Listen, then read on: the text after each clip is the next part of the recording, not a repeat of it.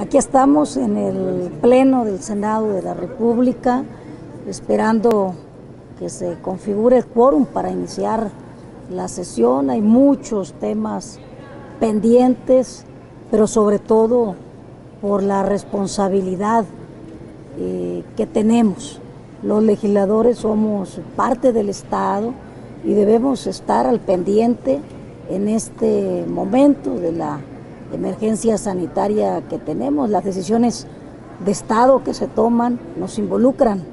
Por eso es que debemos estar acá.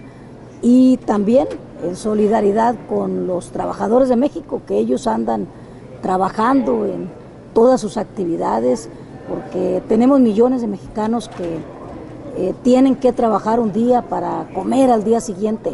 Y creo que debemos de ser sensibles a esta situación eh, porque estamos apenas en la primera fase de la epidemia.